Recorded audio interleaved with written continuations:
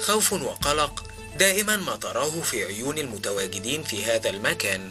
فهنا فقط يكون للموت عنوان في شهادة وفاة مشرحة زينهم بحي السيدة زينب الواقعة في نهاية شارع طويل يشبه في صمته صمت القبور. صمت لا يستمر طويلا. أصوات كهذه قد تبدو استثنائية لدى البعض لكنها لجيران مشرحة زينهم علامة لبدء يوم جديد. إحنا أول حاجة بنصحى على الصوت. دي أول حاجة. يعني أي حد تاني يسمع يصحى على صوت طيور. على صوت حاجة حلوة إحنا بنصحى على صوت صوت بيطلقوا علينا نعوض جيران الموت. يعني إحنا أي حاجة هنا إحنا بنستقبلها. ممكن تيجي الصبح ما تلاقيش حاجة. وفي ثانية تلاقيها بقت فعلا مقابر. تلاقي ناس وصوات و...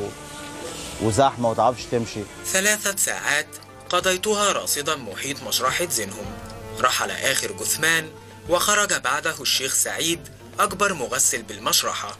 ولأنه يعمل منذ أكثر من 18 سنة فلم يخرج من هذا المكان شهيد أو فقيد إلا وغسله الشيخ سعيد.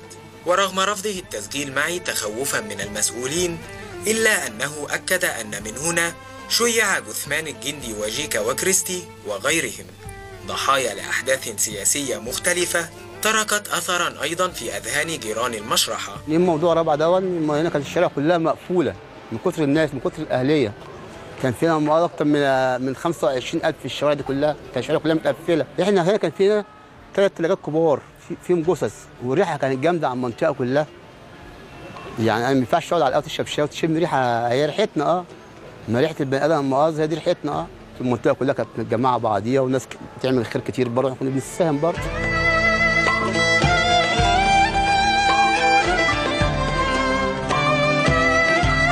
مكان واحد اجتمع فيه الفرقاء فرغم اختلافهم سياسيا مع بعضهم البعض في الدنيا إلا أن مكانا واحد جمعهم في الرحيل لتبقى الجدران مخلدة لذكراهم.